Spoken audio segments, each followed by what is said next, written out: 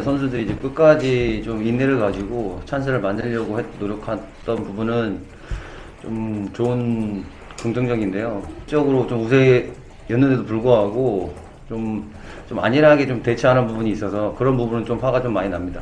좀 프로 정신이 좀 약간 결여된 행동을 좀 한 선수들이 있어서 거기에 대해서는 좀 다음 경기를 위해서라도 어, 좀, 어, 고치고 좀 넘어가야 될 것 같습니다.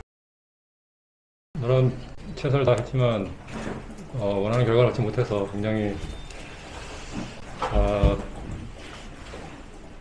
이 아쉬운 부분이 있는 것 같고요.